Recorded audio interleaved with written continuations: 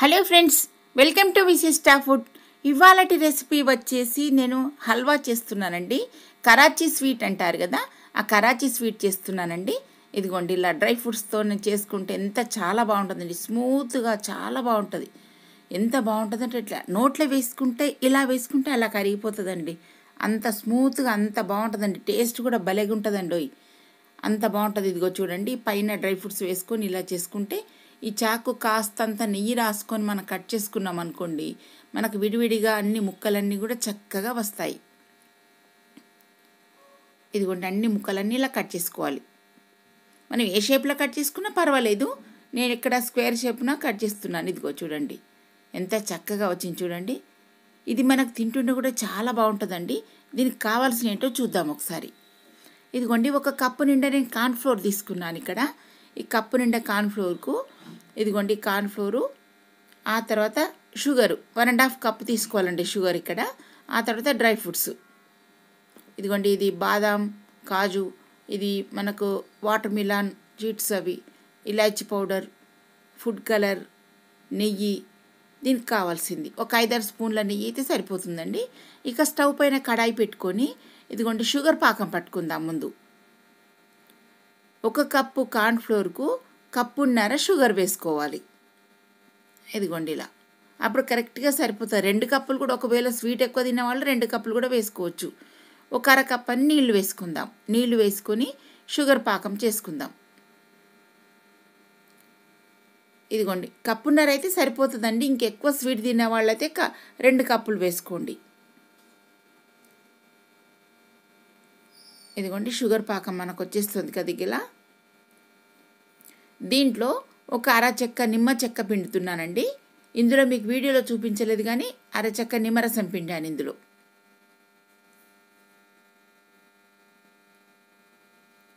ఆ తర్వాత ఒక బౌల్ తీసుకుందాం ఇక్కడ. ఈ బౌల్లో ఇందాక కార్న్ఫ్లోర్ తీసుకున్నాం కదా ఈ కార్న్ఫ్లోర్ ఇందులో ఇందులో వేసేద్దాం. వేసేసి మూడున్నర కప్పుల నీళ్ళు వేసుకోవాలి ఇందులో కార్న్ఫ్లోర్లో మూడున్నర కప్పుల నీళ్ళు వేస్తున్నాను ఇక్కడ. ఇదిగోండి మూడు కప్పులు వేసాను ఇంకా హాఫ్ కప్పు వేస్తే సరిపోతుంది. ఇదిగోండి ఇలా. వేసుకొని ఇది ఏమాత్రం ఉండలు లేకుండా చక్కగా కలుపుకోవాలి.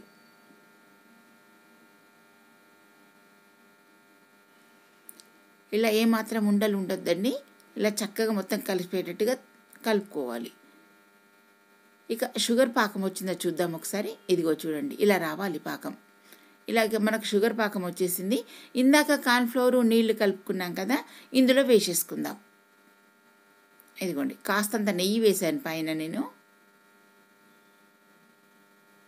ఇదిగోండి ఇలా కొద్దిగా హాఫ్ టీ స్పూన్ అంతా ఇందులో నెయ్యి వేసి కలుపుతున్నాను.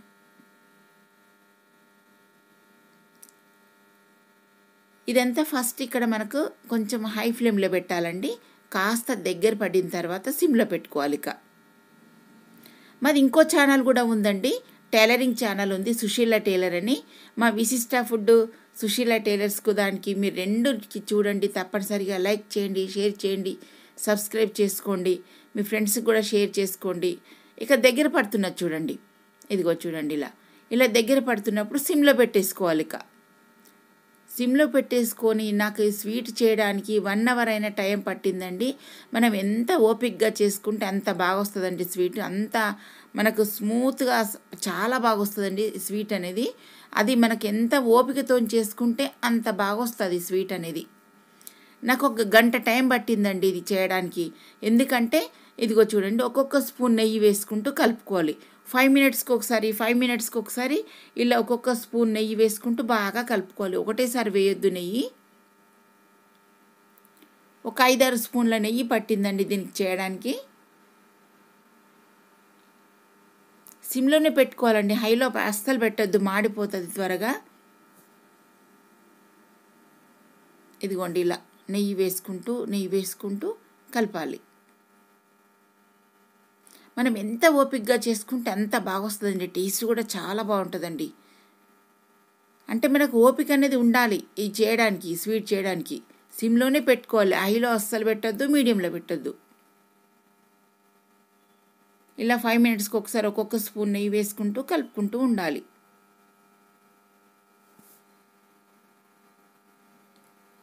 ఇదిగోండి ఇలా. ఏమాత్రం మనం లేట్ చేసినా అడుగంటుతుంది.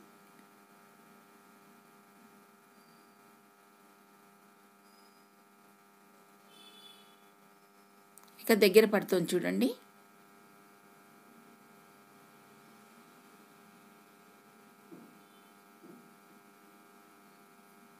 ఇదంతా కూడా మనకు చాలా దగ్గర పడింది చూడండి. ఇంకా నాన్ స్టిక్ ప్యాన్లో చేస్తే మనకు ఇట్లా సపరేట్ అవుతుంటుంటుంది. నేను ఇది మనకు సిల్వరు దీంట్లో కడాయిలో చేశాను కదా. ఎక్కువ మట్టుకు ఎందుకో నాకు నాన్ స్టిక్ ప్యాన్ పెట్టాలంటే ఎందుకో ఇష్టం అనిపించదు ఇదిగో చూడండి ఇలా మనకు దగ్గర పడింది చూడండి చాలా వరకు దగ్గరికి వచ్చేసింది.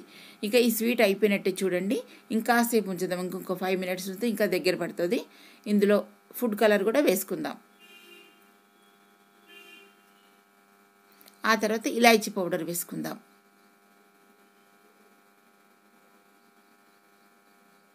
ఇదంతా కూడా బాగా కలిసినట్టు ఫుడ్ కలరు ఇదంతా కూడా కలిసినట్టు బాగా కలుపుకోవాలి ఇప్పుడు.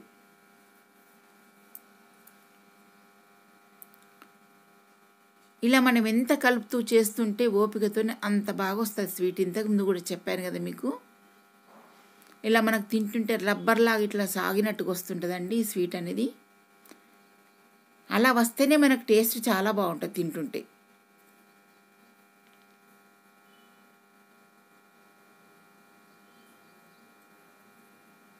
ఇదిగో ఇలా మనకు రబ్బర్లాగా వచ్చేస్తుంటుంటుంది స్వీట్ అంతాను. ఇక పైన డ్రై ఫ్రూట్స్ వేసుకుందాం. ఇక డ్రై ఫ్రూట్స్ వేసుకొని ఇవి కూడా బాగా ఇది వాటర్ మిలాన్ విత్తనాలండి అదే పలుకులు ఇందులో వేశాను. ఇంకా పైనుంచి కాస్త గార్నిష్ కోసం కొద్దిగా ఉంచాను.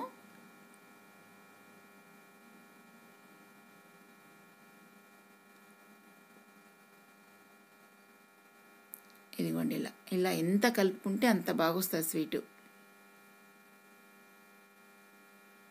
ఇక మనకి ఈ స్వీట్ అయిపోయినట్టే చూడండి. ఇంకాసేపు ఉంచుదాం ఇంకొక ఫైవ్ మినిట్స్ ఉంచుదాం ఇంకా బాగా వస్తుంది. ఇక ఒక ప్లేట్ తీసుకొని ఆ ప్లేట్కు నేను ఇదిగోండి ఈ ప్లేట్కు నేను అంత నెయ్యి అప్లై చేసుకుంటున్నాను. ఎందుకంటే అతుక్కోకుండా ఉండడానికి అని చెప్పేసి ఇలా నెయ్యి అంతా కూడా బాగా అప్లై చేసుకోవాలి. ప్లేట్కి అంతా చుట్టూ అంత కింద ఇట్లా చుట్టుపక్కల అంతా కూడా నెయ్యి అప్లై చేసుకోవాలి.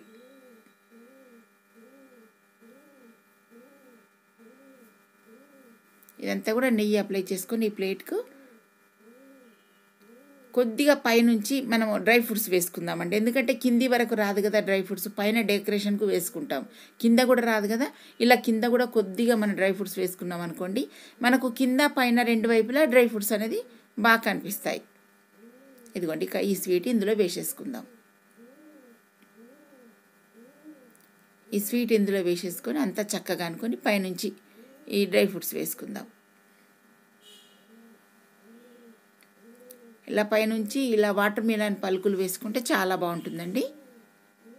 ఇక మనకి స్వీట్ అంతా రెడీ అయిపోయినట్టే చూడండి. ఓకే ఫ్రెండ్స్ మా వీడియో నచ్చినట్టయితే మీరు లైక్ చేయండి షేర్ చేయండి సబ్స్క్రైబ్ చేయండి. Thank you.